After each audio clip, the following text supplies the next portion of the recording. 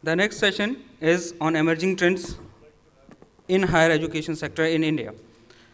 We have discussed so many things about the challenges. We have discussed so many things that what is the current scenario of higher education in India. We have discussed what, is the, what are the policies of government uh, in higher education. Now, it really is needed that what good emerging trends are there as far as higher education segment of India is concerned. So for that panel discussion, I like to call on, uh, call on stage various dignitaries that include Dr. Damayanti Datta, Associate Dean and Professor, IMS Noida.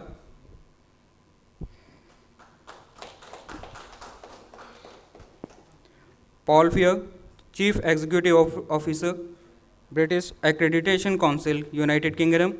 Thank you, sir. Give him a big round of applause, please. Dilip Chenoy, Chairman, Sant Longowal, Institute of Engineering and Technology, Sangrur, Punjab. Give him a big round of applause, please. Professor Geshe Ngawang, Samten, Vice Chancellor, Central Institute of Higher Tibetan Studies. Give him a big round of applause. Dr. Vinod Tibrewala, Chancellor, Sri JJT University, Rajasthan. Oh, he is joining in a while, no issue. Next, Professor Mehraj Uddin Mir, Vice Chancellor, Central University of Kashmir, Srinagar. He is here. So that's all. Uh, the ma'am, you have to moderate the session. Thank you for such a nice panel. Please give him a big round of applause.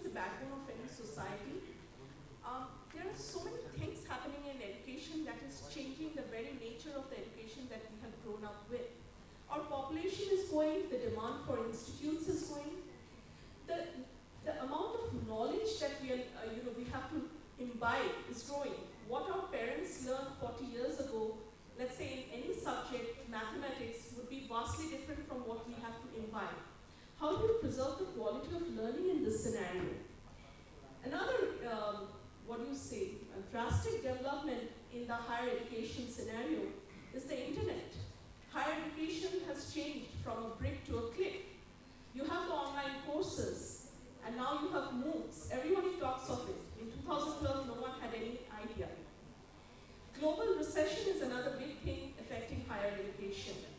Um, universities or higher education system colleges have to change the way they think of um, having of learning in general, uh, whether it's faculty, whether it's students. So there's a lot happening. There's a lot to talk about. We can only probably talk about you know a very few of them. So without any delay, I would invite Mr. Paul Fear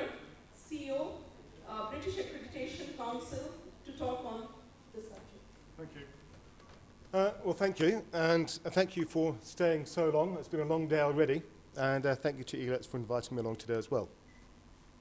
Um, I should just start off by saying who we are, who the British, British Accreditation Council is, before I get into the main part of what I've got to say today. Well, first of all, for those of you who don't know about us, and I imagine that's probably most of you, we were set up back in 1984 at a time, uh, if you're old enough like me to recall that Margaret Thatcher was in power in, the United Kingdom, and she was pulling back from intervention in the private sector in the UK, and we were set up by the British Council and the Department of Education to oversee standards in the further and higher education sector in the UK. So we're a quality assurance agency, and that's what we do. Um, we're a registered, registered charity and a not-for-profit organisation, so all the surpluses we might generate, uh, we don't generate huge amounts of surpluses, I have to say, um, but any surplus we generate gets re, uh, reinvested into the organisation. And in terms of our membership, we're full members of ENQA, uh, which is the European Association for Quality Assurance in Higher Education. And ENQA is uh, a pretty exclusive club, very demanding organisation. and they really inspect the inspectors. So in terms of our quality assurance, we have external quality assurance in ourselves. Uh, and that makes sure that we keep our standards up to date uh, and the way that we work is, is benchmarked against a set of international standards. We're also full members of INQUAHE, which I suspect many more of you will be aware of, uh, and we participate in various conferences and, and consultations around the world as well. At the moment, we accredit around 230 institutions, just over that actually, a little bit more than that, uh, and we operate or accredit institutions in 19 different countries, and we also have two ongoing consultancy projects in two other countries as well. So in that sense, we're pretty international.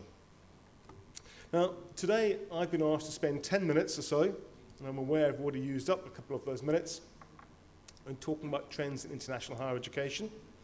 Um, and I wanted to start off by picking up some of the key statistics. One or two people earlier on today have already touched on these. If I'm repeating what you might have heard already, then please forgive me. Um, but in 2014, just to give a scale of some of the student numbers and how student numbers are changing and the way that students are choosing to study, in 2014 it was estimated there's around 5 million students studying outside their home country and higher education. In 1990, that figure was 3.7 million. It's estimated by 2025 the number of students studying internationally outside of their home country will reach 8 million. So you can see there's been a pickup and the pace of change is picking up quite considerably.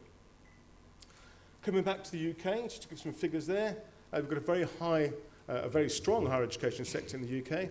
But I didn't know until I was presenting or preparing for this presentation that 21%, that was just last year, 2016 figures, 21% of students in the UK are not British they've actually come from overseas to study in the UK. Uh, looking at where students choose to study, well, 19.4% of students have gone to the USA, 10.4% come to the UK, and beneath that, you have a long list of countries, the majority of which are OECD countries. And I'll come on to that later on, because one of the trends that's emerging is that that trend, or what we've seen up until now, where students have chosen to go to OECD countries, is beginning to change. At an early stage, but nonetheless, there's a change happening there. And just to give some context in terms of India and its relationship with the UK in terms of higher education, in 2014, 2015, there's 18,320 Indian students were studying at higher education in the UK. So, what emerging trends can we begin to see? Well, there's a small number of really interesting changes beginning to happen. In my last slide, I talked about the OECD, and that's traditionally where most people think, if I'm going to go and study overseas, I know what I'm going to go and do. I'm going to go to Britain, I'm going to go to USA, Canada, Australia, wherever it might be. But typically, it would have been an OECD country. We're beginning to see some changes in the flows, in international student flows. Specifically, we're beginning to, beginning to see the emergence of regional educational hubs, where students, instead of choosing to go to OECD countries are staying closer to home. They might still be crossing borders. They might still be studying in another country, but it tends to be more regional. The majority of the students are still studying in OECD countries, but it's an emerging trend, and it's a strengthening trend, and I hope as I go through some of the other slides, you'll be able, to see that, and I can give evidence to support that, uh, that students are choosing to travel and study much closer to home. That's being accelerated as we're seeing some of the uh, emerging economies universities beginning to rise up through the rankings.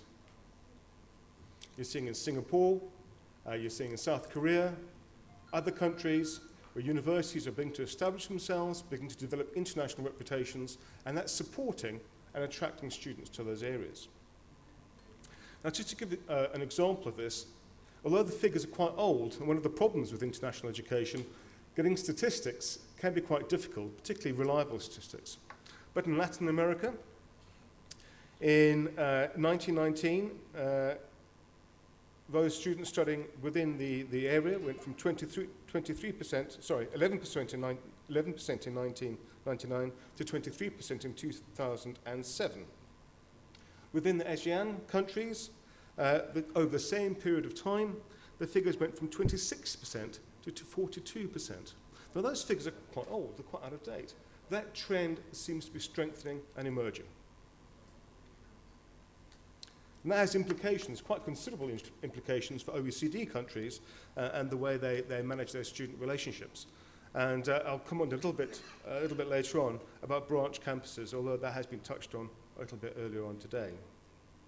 Well, coming on to India, now I'm, I'm very conscious when I was asked to do this, you probably know far more about what's happening in Indian higher education than I am.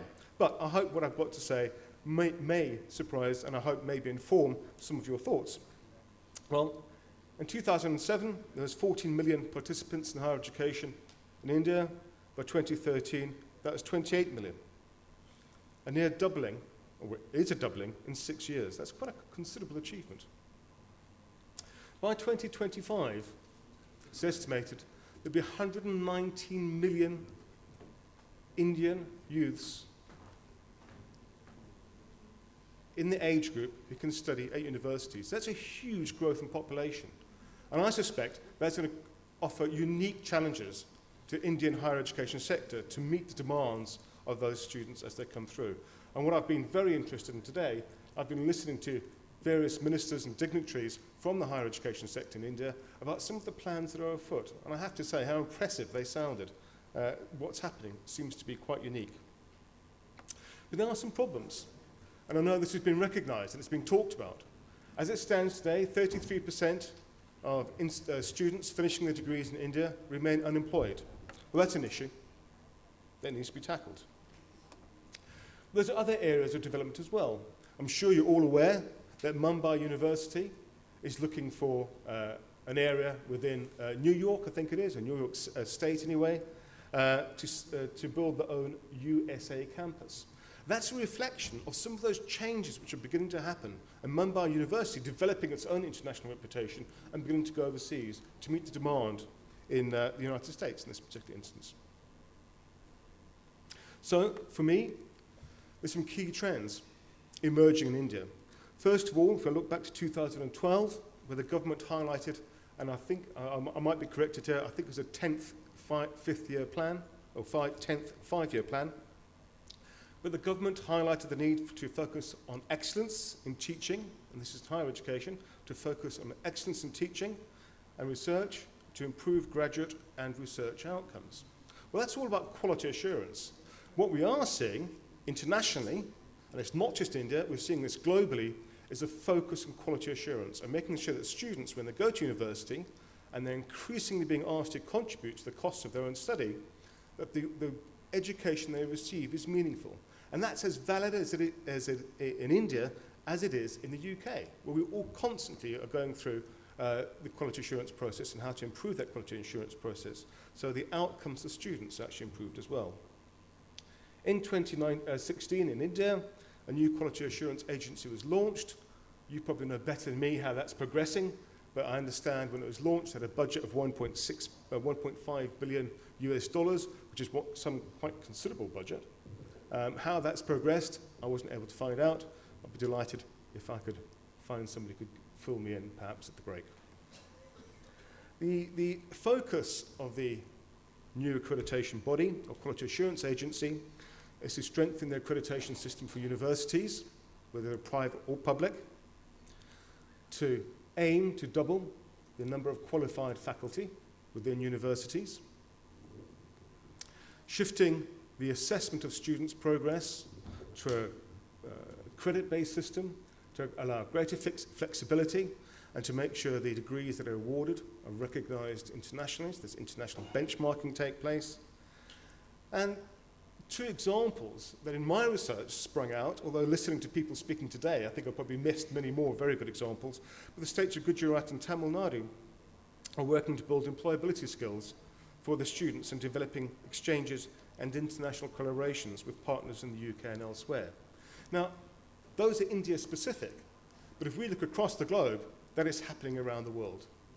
For me, those are the key trends, the very broad macroeconomic trends, if you like, across the higher education sector. I'm conscious that I'm probably coming to the end of my time, so I'm going to wrap up my uh, slideshow here, and uh, I look forward to hearing from my colleagues. Thank you very much. Mr. Fear? for this excellent presentation. I think he touched on two topics. How do we preserve the quality of learning? We're doing everything, but the quality of learning is very important. And also in face of global recession, as um, and then uh, talk about India and talk about some of the changes that are happening in India, and then what the future will hold. So if you look at the world, and we, you know, we, in conferences like this, we tend to discuss education on the extreme right. You know, what are all the changes happening? But actually, the education systems in different countries differ according to the type of industrialization. So if you take the least developed countries, I mean, their prime thing is, you know, they're not very, they're early industrialized, but their higher education is typically for the elite. There is no elite. There is no, uh, you know, uh, thing like when you go to the emerging economies, where, where includes uh, China, India, the Arab world, and Southeast Asia, some of the countries that you talked about, where there's a massification of uh, higher education, big universities, but principally qualification driven. That's what we've been hearing throughout the day qualification driven and knowledge focused uh, uh, education. And then you have the developed nations, which are looking at the effects of post industrialization and new teaching approaches and focus on skills, competencies, etc. So what you're seeing happening now is the least developed countries also are creating modern education institutions that are going to replicate what is happening in the developed world, but very, very small numbers. And the emerging economies are actually trying to transform their own education system into what's happening in the developed world. And while the developed world is also changing their education system. So we are in this constant uh, state of flux as we go along. And this is primarily because, first, there's a new demand caused by businesses. So if you heard, you saw the last, uh, the last session, and you saw the presentation by the Rajasthan uh, Principal Secretary of Education, he talked about Internet of Things, you know, big data, uh, business analytics, artificial intelligence. Three years ago, or two and a half years ago, these things were not on the lexicon of the education in, in the country. So that's actually new customer demands, new regulatory standards when you're going for an accreditation or when you're having uh, organizations say we are number one ranked and the, like you talked about the changes in the regulatory framework and what you're trying. And in order to outdo the uh, competitor, you're trying to do innovation, you're trying to do changes in the process and systems to be number one in ranking. And interestingly, just like the emergence of Oyo rooms uh, in India, or if you take Airbnb abroad, or Uber and uh, Ola, they're lar- largest hotel chains and largest taxi fleets without owning either the hotel room or without owning the, the taxi. So, are we going to have this phenomena and say that education institutions that don't hold brick and mortar, actually the largest education systems in the world, there are some, but we are seeing a huge change in new content and organizational forms of education. In India, throughout the morning, you've heard about UGC, you had the chairman AICT here in the inaugural and the panel. And of course, they themselves are going to be replaced by the Higher Education Empowerment, uh, you know, Regulation Agency, and the, the challenge of the acronym HERA has got contradictions in the words itself there. Then you have these 20 universities, 10 private, 10 public, which are going to be moved out of the whole regulatory uh, scheme as we go forward.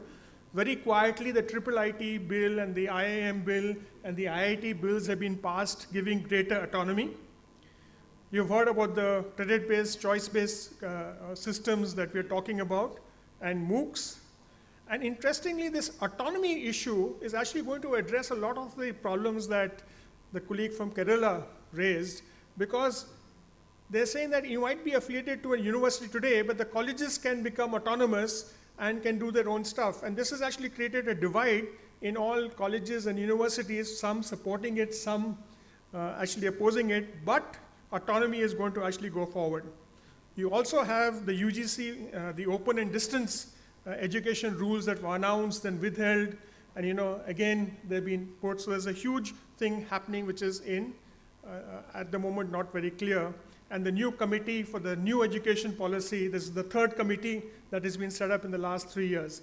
So the whole regulatory uh, framework is also going to be changing in India as we go along.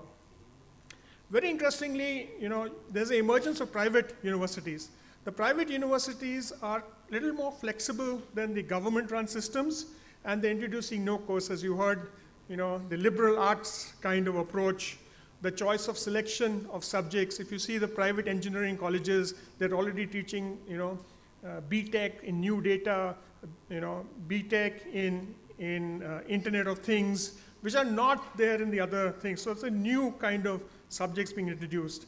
Then you can select subjects. You have Ashoka, you have Shiv Nadar, you have other universities there, which are saying you can choose physics with uh, economics and with philosophy and actually put your own degree together and do something. Now, this is actually happening in, in, in a very quiet way across in India. There are a lot of courses are linked to industry. So you are saying that this is a course by the logistics sector, or this is by JBM, uh, this is by IBM, and, and these courses are being introduced there in the private. And then you have the twinning arrangements, which you have heard uh, much more in, in the morning. What is interesting is that we have new teaching methodology. If you look at what's happening in the private uh, universities, much faster than the government-run institutions, is that new forms of teaching. They already have MOOCs libraries. They already have simulators. They're already getting industry experts to come in. And you've heard right throughout the day addition of skills courses, either with the sector skill councils or without the sector skill councils, a single skill or a multiple skill. Now, what's going to happen is because the pressures on the different colleges to compete and attract students, uh, this is going to multiply and come, come uh, you know, going to really uh, take off. And the challenge is that regulation would not always be able to keep pace with the change. And the, you know, like the ISB started without being accredited to AICTE and became a great uh, educational center, a lot of private educational players and technology education players will try and do things to keep ahead of the regulatory framework. This is the same point that you made, the flight of the student. I don't know if, you, if, if it is true, but according to some estimates, the amount of money spent by Indian students pursuing higher education course overseas far exceeds the investment that the Indian government does in higher education. So you're having, you know, because if you haven't got, you know, the air, in the morning you heard the airwave 92.5 FM, you know, you heard that. If you don't have that, you don't get into Delhi University. So people are going out even now to do undergraduate courses overseas. Earlier they used to go to the OECD countries. Now nations have decided that their cost of living is lower than the OECD countries. So if they provide the same facilities there, people will come there and contribute to their economy rather than going to the OECD uh, countries. Enrollment on online courses is increasing. If you look at the sum total of the enrollment of co online courses in India, it exceeds the university enrollments. The number of people completing courses online is far less. And of course, higher education is now seen as an investment and as, uh, so what's happening is around the world is they're moving to the next best practice, work and internship, and I was hoping he would be here, but Mr. Vishweshwara VIT Pune has got 35,000 students who are doing a learn and earn program. Working in companies will end up with a degree, with a diploma, which is much more than the enrollment of private or government engineering colleges as increasing. Moving from Gurukuls to Shishakuls, that is institutional centered learning to individual centered learning, team learning, group projects, internships, online simulators are here to stay. What is going to come is biometrics and variable feedback learning, personalized learning. You heard the, the McGraw-Hill presentation in the morning. We have the digital network system in India where your, uh, your degrees and mark sheets are going to be online. You're actually going to carry your competency with you maybe in a, in a chip, not in your head, but in a chip where you can prove to employer and the, uh, that you actually possess those competencies and then the whole accreditation system will also going to change. Right? So what will change in the future? The grammar grammography students. Today, at the, in the age of 17 and 25, you have a peak of people entering the education system. Onwards, it will be lifelong learning, and there may be two peaks. You might have three generations of students in the same institution. The grandfather, the father, and the grandson. They might actually be studying different things in the institution. The nature of classroom is going to change, it's changing today. The process of delivery of knowledge has changed today already. It's going to change faster. And the way you access education, the number of practicals and learning, uh, learning experiences. You know, in the medical education system, we won't have human cadavers to work on. So we will now have simulators. So earlier, where 20 people used to go around a cadaver, each one may have his own personalized system, but it'll be a virtual simulated thing. Maybe chemistry and physical physics laboratories may not exist. Chemical definitely not on three years because the amount of pollution that is controlled by the amount of sulfuric acid and all that they produce. So we're going to have a different system of actually practical and, and, and, much more practice with experience. And today the biggest challenge in India is that on-the-job training experience is very difficult, but through artificial reality and artificial, uh, augmented reality and artificial intelligence, you might replicate the factory floor in the classroom where each student can get it. There is a company that is being done by a 22-year-old that exists in Delhi, is doing it for Johnson & Johnson in Bombay. It's a reality. It'll only scale as we go forward. The mix of competency will change. Rating and rankings are in for a huge, huge change. Just last week, I think, the rating system, the ranking system in India has added on a whole new elements. Maybe another four months, you'll see some new elements coming in. So what you say is stability, I know, you know, I'm speaking in, in the presence of experts, but it's going to happen.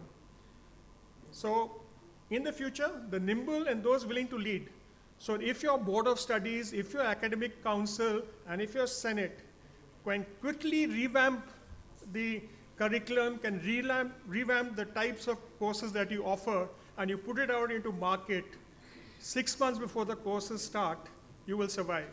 Because at the end of four years, when your people pass out, let's say in engineering, 50% of what they have learned in the first two years has got the potential to be redundant. So you're always being, be playing catch up. So thank you very much for the opportunity. Thank you. Thank you very much, Mr. Shimon. So he touched on this wonderful topic, uh, the problems in education, especially in a growing population, fast-growing population like India. Private privatization of education has become omni, omnipotent. It is because they can react instantly to the demands and they don't have to bother as much as of the rules and regulations. They can be more flexible, whether tying up with MOOCs, integrating MOOCs into their strategies offering a combination of different subjects, unlikely subjects uh, uh, to the students, uh, whether tying up with universities abroad, offering different, you know, non-conventional subjects like personality development and etc.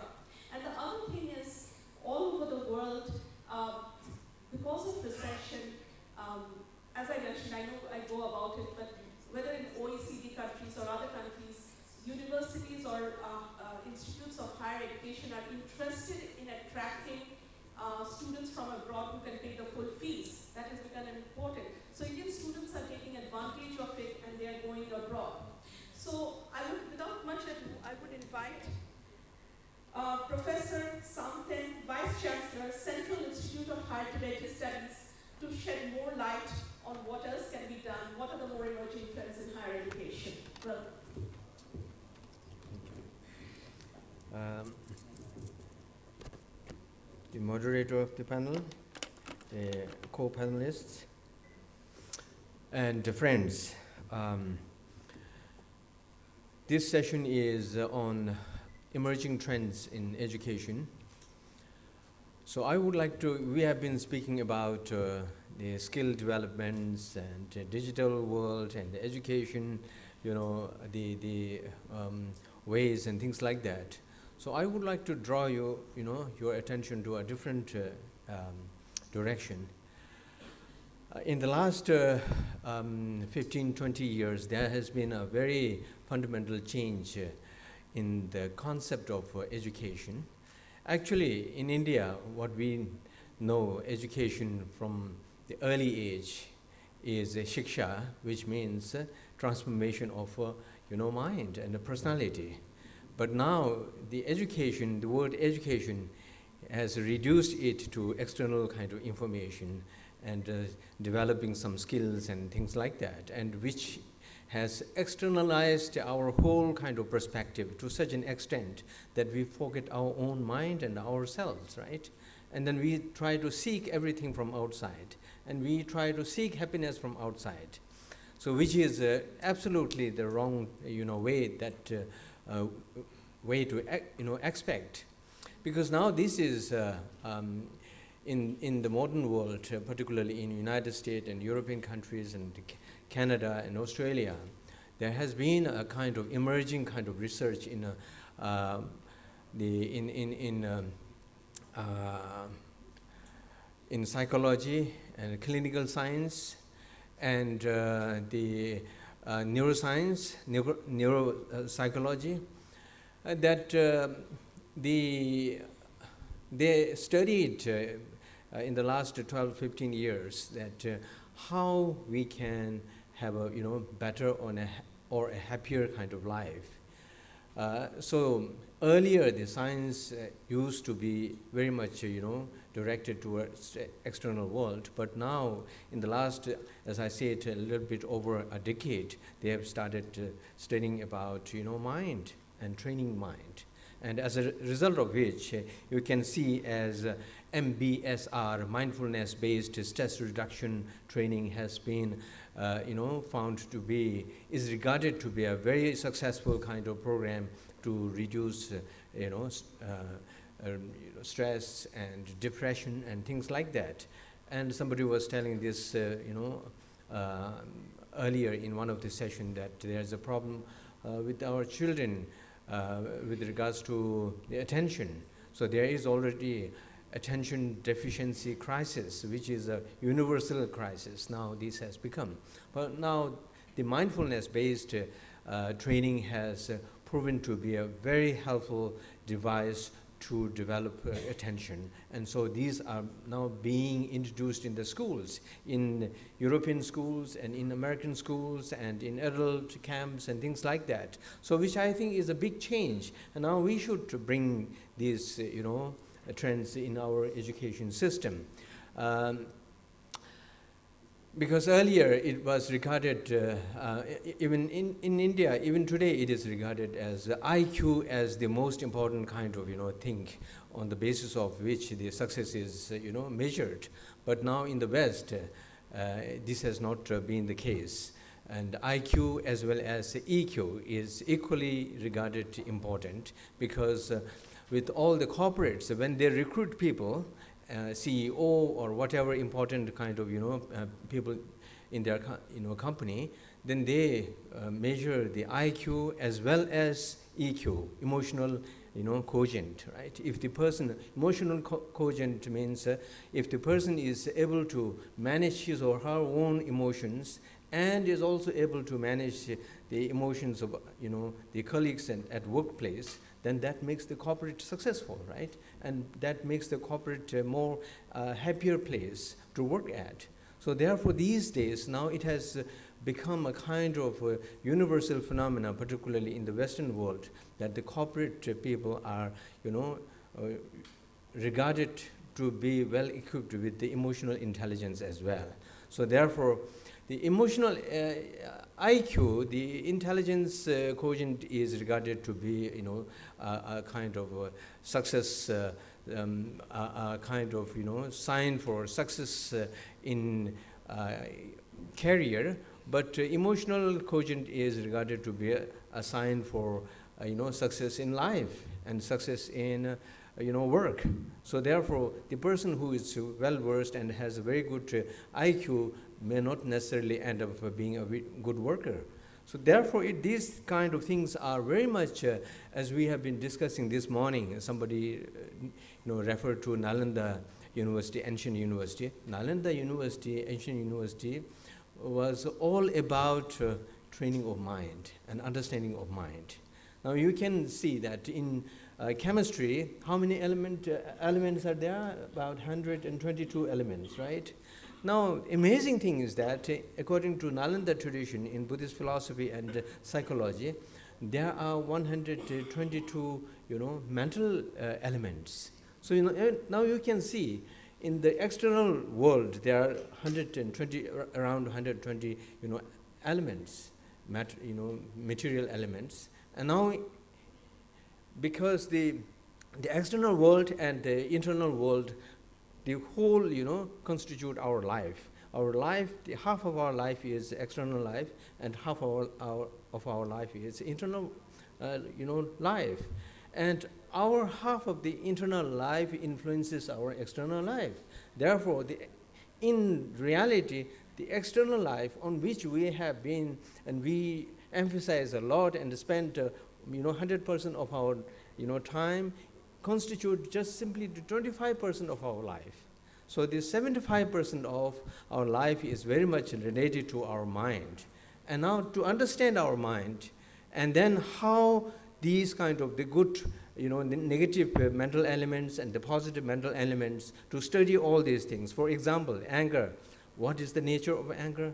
How anger comes, arises, and under what circumstance uh, anger arises, what are the causes and conditions of anger, and what are the implications of anger and consequences of anger. If we study all this holistically, then we can understand what actually anger is, right? And on the opposite side, what compassion is, what are the causes and conditions of compassion, and what are the implications of compassion, and things like that. If we study the entire kind of, you know, the world of uh, compassion, and then we can understand the, you know, the qualities of compassion and the benefits of compassion. When somebody, you know, meditates and cultivates compassion, people think that, they, why should I be compassion, you know, compassionate? The, the wonderful thing is that when person, you know, cultivates a compassion, then the first beneficiary is the pers person himself or herself. And on the contrary, whenever we have, you know, the, the anger in our mind, the first victim is the person who has the anger, right? So therefore, if we don't want to be unhappy, then we have to work on our mind. And the tradition of Nalanda has a very rich and detailed tradition of how to train our mind. This is all about the Nalanda tradition. It has so rich, it, you know, the entire Nalanda tradition uh, comprises about more than 5,000 texts translated into Tibetan language, which is not only being studied, but the living tradition is still existent and the, you know, it is being practiced. So therefore, the, in the modern world now, in United States, Harvard University, uh, Yale University, Stanford University, Emory University, they have a very strong research center of emotional training, emotional uh, compassion training, and uh, you know, uh, and, and, mind trainings.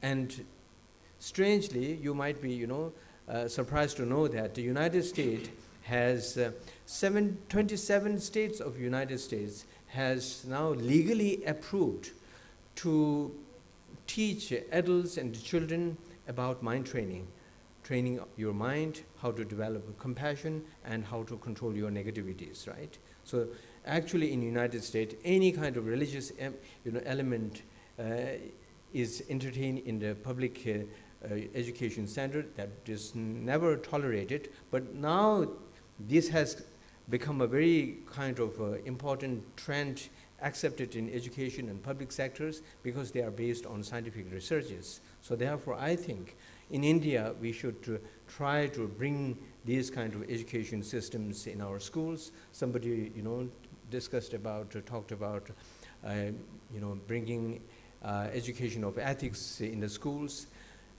Bringing ethics uh, does not mean that if you, you know, tell them what do's and don'ts, that simply is not the education of ethics. You should tell them why one should not do this. Why should one do this?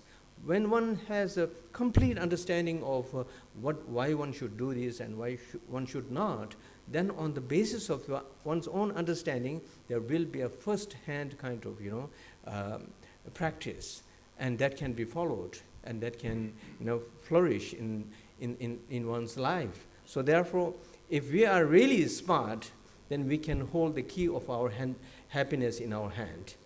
Otherwise, very smart person, regarded to be very smart person, if he, he, or she is ignited by some word or some kind of action by some, some other person, the person becomes totally disturbed, right? Because his or her key of happiness does not lie in his or her hand, but in somebody else's hand.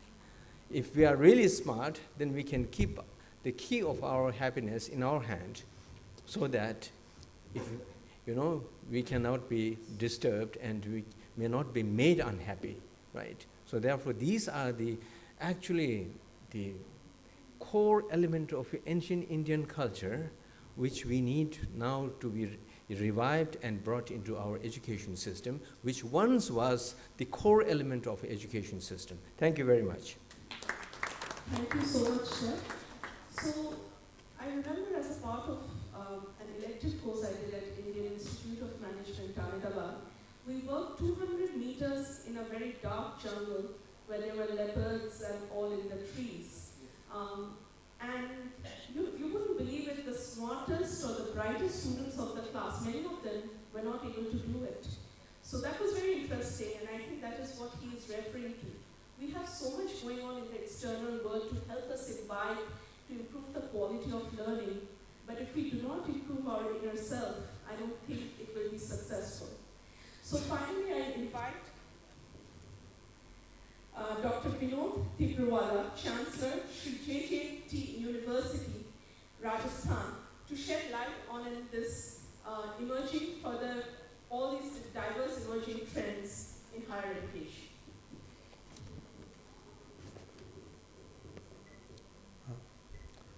Enlightened gathering today has assembled, I will say in very small words, in very short. We are all peasant. Our education, higher education system, specifically I am talking about engineering and medicine. BCom, CA, LLB, arts, fine arts, they are all very fine with us. But engineering and medical education death table पर हम हैं। Since morning हम सुन रहे हैं twenty percent people are employable eighty percent are not employable क्या हो गया? आप पढ़ाते हो, फिर बीस परसेंट को क्यों नौकरी मिलेगी? हम डेथ टेबल पर हैं। ऑपरेशन की ज़रूरत है, लेकिन हम ऑपरेशन करना नहीं चाहते।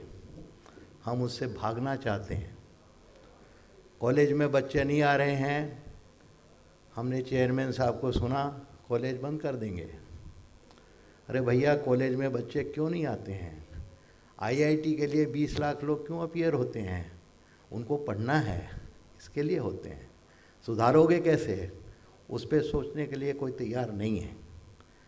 देखिए, आज दुनिया को एक्सेलेंट प्रोडक्ट माँगता है। Zero defect. मैं इंडस्ट्री का आदमी हूँ। मैं एजुकेशन में इसलिए आ गया कि ट्रस्ट की एजुकेशन स्कूल थी और मैं ट्रस्ट का प्रेसिडेंट बन गया। बन गया तो मैं बॉम्बे यूनिवर्सिटी का सीनेट मेंबर भी बना, एकेडमिक काउंसिल का मेंबर भी बना। मैं ये सब देखा, देख के मेरे को ये समझ में आ गया कि अभी अपने को इंजीनियरिंग की जो एजुकेशन सिस्टम है, इसको चेंज करना पड़ेगा। छः महीना पढ़ाओ छः महीना काम करने के लिए भेजो फैक्ट्री में। चार साल का कोर्स आपका है। आप दुनिया भर की, मैं मैकेनिकल इंजीनियरिंग किया नागपुर से 1968 में। 18 सब्जेक्ट, हीट इंजन, फलना ढिमका काम काम मेरे एक आया फैब्रिकेशन फैक्ट्री के अंदर। मेरे को वेल्डिंग करना पड़ा, गैस कटिंग करना पड़ा, फॉर्मिंग करना पड़ा। आप एक स्पेशलाइजेशन करो दो साल तक आप सब जनरल सिखा दो।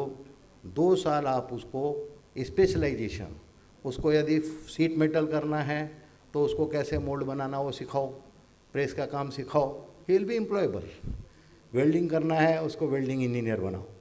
आपको उसको पेंटिंग करना है, उसको पेंटिंग का पूरा नॉलेज दो।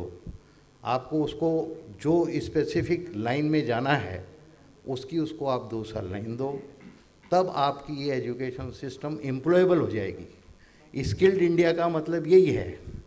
हिंदुस्तान सोने की चिड़िया था, क्योंकि वो ढाके की मलमल अंगुली में से, अंगूठी में से निकलती थी।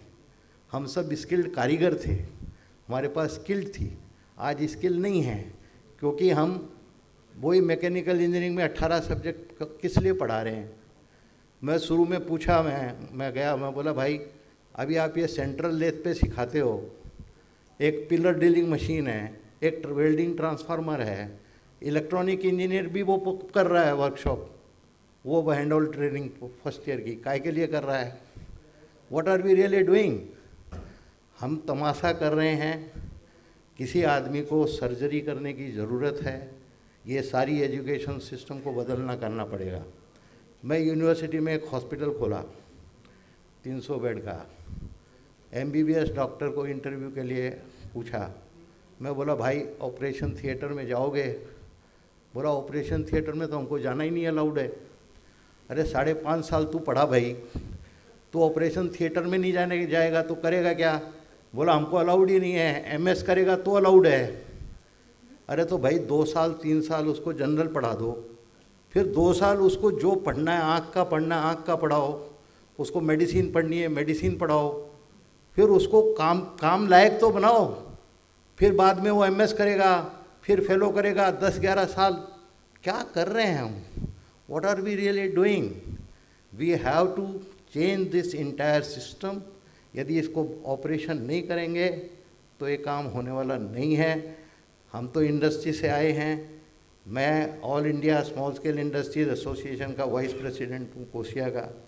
हम रात दिन ये देख रहे हैं। कि एक भी लड़का जो भी आता है, पहले उसको छः महीना हमको ट्रेन करना पड़ता है। मैं जब नागपुर से पढ़ के गया तो चुपचाप जो वेल्डिंग करता था ना उससे वेल्डर से सीखता था मैं। कि यार कितने करंट पे पाँच एम की वेल्डिंग होगी, कितने में क्या होगा? फिर पोरोसिटी है स्लैग है, ये एक्सरे देखने का। तो आप एक्सपर्टाइज करो ना। आप एक्सपर्ट स्किल बनाओ। ये एजुकेशन सिस्टम रूटीन हो गई है। अब इसको चेंज करना ज़रूरी है। ऑपरेशन करने के लिए आप सब पढ़े लिखे लोग हो। मैं तो बोल सकता हूँ कि ज़रूरत है। आपको बदलने की ज़रूरत है। बदलोगे तो ठीक है। स्किल्ड इंडिया बनेगी। सोने की सोने की इंडिया सोने की चिड़िया कहलाती थी, बन जाएगी। क्योंकि प्लम्बर को अमेरिका में मास्टर के जितना पैसा मिलता है। आप एक अच्छी प्लम्बिंग कर लो। आप अच्छी कारपेंट्री कर लो, आप अच्छे स्किल्ड वर्कमैन बनाओ तो आपका काम बनेगा, आपका देश बढ़ेगा, आप आगे बढ़ोगे। नहीं तो भैया जहाँ है, पचास साल पीछे। लोकोमोटिव से सिखाते हैं अपन स्टीम लोकोमोटिव 600 किलोमीटर की स्पीड की ट्रेन की बात करते हैं। और सिखाते क्या हैं? सीएनसी मशीन तो किसी कॉलेज में इंजीनियरिंग में है ही नहीं। मैं बोला, भाई ट्रक पे ले जाओ। सीएनसी मशीन दस कॉलेज के अंदर वो जाके ट्रक के ऊपर जाके, ले जाके पंद्रह पंद्रह दिन उस कॉलेज के बच्चों को सिखा देगी। शेयर आप नहीं अफोर्ड कर सकते हो शेयर करो। आप शेयर करके अच्छी मशीनों में सिखाओ। अभी वो टेक्सटाइल का एक एग्जांपल दिया, कोला कोला कोला इच्छल करण जी का, कि भाई वहाँ सब लोगों ने मशीनें दे दी। अरे तो मशीन दे दी तो वो कुछ काम हुआ ना। तो अच्छी मशीनें होगी तो ही हम सीख पाएँगे। तो ये हम पढ़ पाएँगे और तब ये देश बनेगा और ऑपरेशन करने के लिए बहुत सख्त आदमी की ज़रूरत है, बहुत ज़बरदस्त जिसको ऑपरेशन करना, क्योंकि ये जो पुराने पीढ़ी के लोग हैं ना, ये चेंज करने के लिए तैयार नहीं है। They are not ready to change और change is every day happening in life every day technology changing every day आज कुछ है, कल दूसरा आ गया। ये मोबाइल का ये लो पा, पाँच था छः आ गया सात आ गया जी पी फोर आ गया रोज़ चेंज हो रहा है और हम चेंज होने को तैयार नहीं हैं। तो ये बड़ी मुश्किल की बात है। आप सब पढ़े लिखे लोग हो कोई गलत बात कह दी हो तो माफ़ी माँगता हूँ लेकिन हकीकत यही है कि हमें चेंज करना पड़ेगा और नहीं चेंज करेंगे तो हम आगे नहीं बढ़ेंगे। तो बहुत ज़रूरी है। Thank you very much. मुझे यहाँ पर बुलाया ऑर्गेनाइजर्स ने और बोलने का मौका दिया धन्यवाद Thank you very much, sir. Um, so one of the things which are, uh, you know, teaching operations strategy at FMS, um, every strategy was linked to the demand, which sir was just talking about. Every strategy is linked to demand. Unfortunately, teaching that to the students, I was forced to tell them that, you know, that's not what happens in companies. There's politics, there's so many things, there's rules, there's regulations, so you'll have to go by rote. And that's what's happening to education. We are talking a lot of changing, we are doing a lot of changes. As I said, brick to click, uh, integrating with universities abroad, going abroad, um, you know, looking at various privatization, um, looking at our inner self, but we are not looking at what we require. So that is a key factor to this discussion. Unfortunately, due to the lack of time, we will not take questions here, but please feel free to approach any of us uh, off the stage. Thank you so much. Thank you so much, all the panelists, for such an enlightening session on uh, emerging trends in higher education section scenario in India. I request Dr. Datta to present mementos to each and every participant in the panel discussion.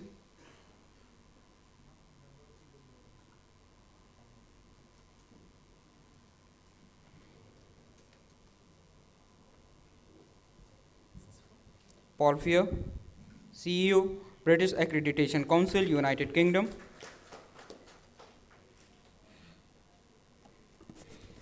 Next, Professor Jise, so sorry, Professor Vin, Dr. Vinod Tibrewala, Chancellor, Sri JJT University, Rajasthan.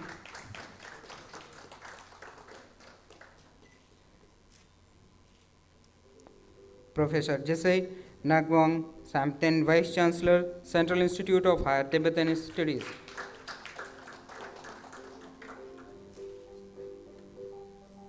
Dilip Chenoy, Chairman, Sant Longowal Institute of Engineering and Technology, Sangrur, Punjab. I request Paul Fear, CEO, British Accreditation Council, United Kingdom, to represent the memento to Dr. Damayanti Datta.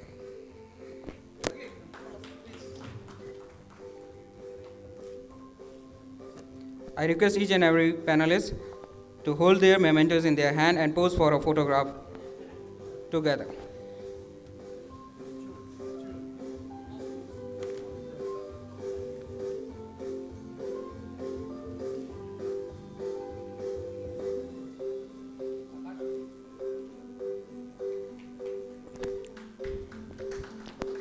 Thank you. Thank you, Damayanti madam. Thank you, Dilip sir. Thank you, Paul.